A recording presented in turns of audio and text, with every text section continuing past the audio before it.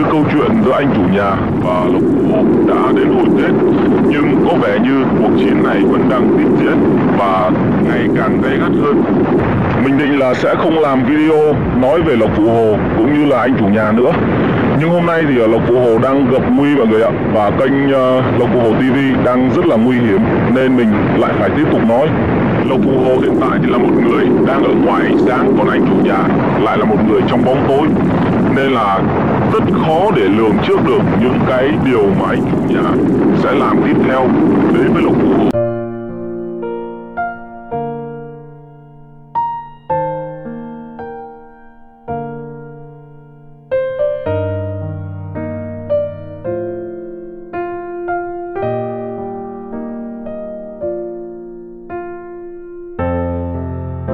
Xin chào mọi người thì mình định là sẽ không nói về Lộc Phụ Hồ và anh chủ nhà nữa. Cũng như là vài ngày qua thì mình cũng ra clip và cũng gọi là hai? Hai bên mình tưởng rằng uh, mình và cộng đồng mạng tưởng rằng đã êm đẹp rồi. Nhưng ngày hôm nay thì mọi chuyện nó trở nên tồi tệ hơn rất là nhiều. Và mình nghĩ là mình cần phải lên tiếng. Mình cần phải cho cộng đồng mạng cùng biết về cái bộ mặt của anh chủ nhà. Cũng như là lên tiếng để cho cộng đồng mạng chia sẻ cho tất cả mọi người đều biết. Để cho tất cả mọi người cùng biết cùng lên tiếng. Để một lần nữa bảo vệ và đòi lại cái quyền lợi chính đáng cho Lộc Phụ Hồ video này thì mình muốn thông báo đến mọi người một cái tin rất là buồn và rất là sốc đến uh, nói chung là đến với Lộc Phụ Hồ. Đó là kênh Lộc Phụ Hồ TV thì đã bị uh, đánh ba gậy bản quyền bị nhận ba gậy bản quyền. Và chắc chắn rồi không phải ai khác chính là anh chủ nhà đã nhận bản quyền từ uh, kênh của Lộc theo mình biết thì hiện tại à, Netwood à, mà Lộc mới tham gia và anh em support à, hỗ trợ Lộc vào Zone 1 này đang tìm cách để hỗ trợ Lộc để kháng gậy bản quyền từ anh chủ nhà. Và mọi người thì đang mong chờ một cái kết quả tốt đẹp nhất đến cho Lộc. Thì tiện đây mình cũng nói luôn một chút cho mọi người hiểu hơn về cái ba gậy ba gậy bản quyền là như thế nào mà nó cái mối nguy hiểm của ba gậy này là nó ra sao? Thì uh, nếu như một kênh YouTube mà bị ba gậy bản quyền ba cái cảnh báo bản quyền ấy thì nó sẽ trong vòng 7 ngày nó sẽ cho hạ thời hạn 7 ngày để mình kháng cáo. Nếu không bị kháng, không kháng cáo được thì cái kênh YouTube này sẽ bị chấm dứt vĩnh viễn. Nếu như bên net và bên support của Lộc không kháng cáo được thì cái kênh của Lộc sẽ bị chết. Và bao nhiêu công sức của Lộc thì sẽ bị mất ờ, bao nhiêu công sức ờ, bao nhiêu năm trời thì cũng bị xuống, đổ xuống sông xuống bể bởi cái bởi ờ, cái gậy bản quyền này. Và không ai khác, người mà đánh gậy bản quyền đó chính là anh chủ nhà. Mình làm clip này thì ờ, mong rằng mình này cũng như tất cả cộng đồng mạng thì hãy, mỗi người hãy chung một tay, góp một lời nói vào để chia sẻ cho tất cả mọi người rộng rãi, đông đảo đều biết về cái bản chất của anh chủ nhà, cũng như là giúp đỡ lộc để thoát qua cái vụ này. Chứ để cái vụ này nó kéo dài kéo dài quá là dài này để khiến đến khiến những fan của lộc như mình cũng cảm thấy là rất là mệt mỏi. Cái trường hợp của lộc phụ hồ này bây giờ cái hướng giải quyết tốt nhất là gì? Thì uh, mình nghĩ thì đợt này thì net sẽ kháng được. À, uh, Netwood và bên support cho Lộc ấy, thì chắc, chắc chắn là sẽ kháng được gậy bởi cái kênh này. Nhưng uh, kháng xong thì chắc chắn thì anh chủ nhà lại đập. Nên là rất là khó rất là khó để mà ờ, dừng lại ở cái cuộc chiến này. Mà chỉ có một cái con đường duy nhất để cho nó ổn thỏa và êm xuôi nhất, đó là Lộc và một số anh em nữa đến trực tiếp, gặp trực tiếp anh chủ nhà để ờ, làm ờ, gọi là để làm một số cái việc gì đấy nên làm. Mình khuyên Lộc là nên đến trực tiếp và gặp anh chủ nhà một lần để giải quyết cho nó xong xuôi, ổn thỏa. Đấy nên làm những cái gì nên làm đi chứ đừng có dừng lại ở cái chỗ mà cứ im lặng để mà người ta chọc phá mình nữa. Bây giờ bên đường pháp lý thì người ta không thắng được mình rồi thì người ta sẽ phá mình bằng những cái thủ đoạn. Nên là mình phải giải quyết cho nó êm xuôi cho nó êm đẹp đi để tiếp tục còn làm ăn. Thì à, nếu như mà mình hỗ trợ được lộc điều gì thì mình luôn luôn sẵn sàng. Cộng đồng mạng mình nghĩ là cũng như mình.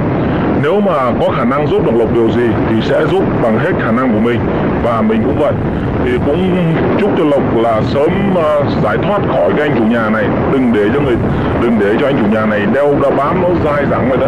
Nó cảm giác là bây giờ làm cái gì nó cũng không an toàn.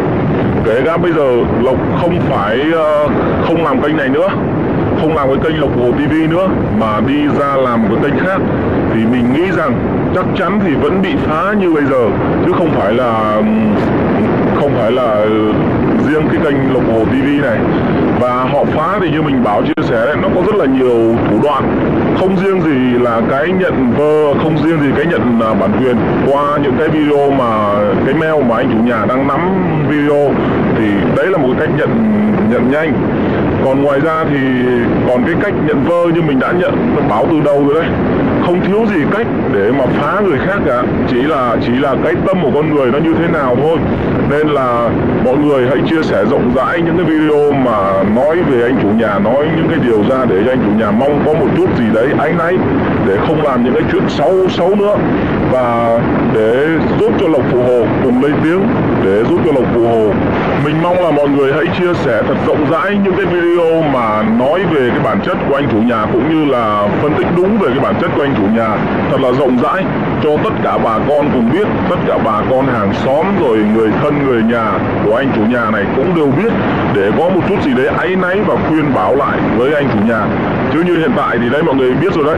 À, dù là bao nhiêu người nói này nói kia nhưng mà anh chủ nhà vẫn đinh ninh như vậy vẫn đinh ninh là mình không sai dù là cả thế giới chống lại mình rồi.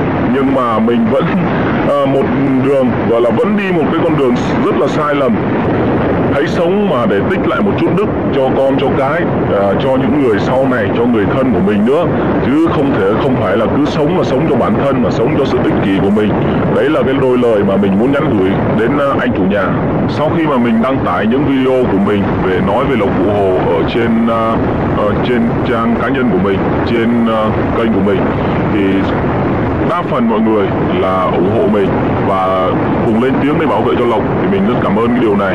À, có một số người thì chẳng hiểu tại sao mà cứ vào video của mình cũng như là video của những cái bạn mà làm cùng cái cùng nói lên tiếng nói bảo vệ cho lộc cụ hồ thì cứ vào là chửi cứ vào là chửi. Thì à, thôi thì à, mình cũng không để ý đến mấy người đấy nữa nhá. Thì mình nói mình muốn nói một câu cuối cho các bạn đấy như này.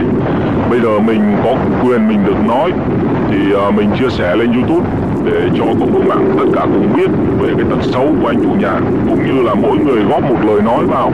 Thì lan rộng cái tinh thần lan rộng lan rộng lên để cho đến tất cả tai mọi người và đến cả gia đình của anh chủ nhà nữa.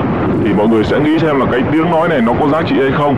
Nếu như các bạn có thể làm được, thì các bạn cũng hãy cứ lên màn hình và lên tiếng nói để nói ra những cái điều mà mình nghĩ và bảo vệ những cái gì mà bảo vệ những cái luận điểm của mình mình cũng rất là ủng hộ những điều đó tại vì uh, cái chính kiến của mình cái những con uh, gọi là cái lời nói của mình mà mình truyền tải được đến cho mọi người và cho mọi người hiểu cái đấy nó mới là một cái quan trọng. Chứ không phải là mình uh, các bạn uh, cứ lên gõ phím rồi thấy ai thì chửi thấy gọi là thấy mặt ai thì chửi thấy mặt này nói này nói kia.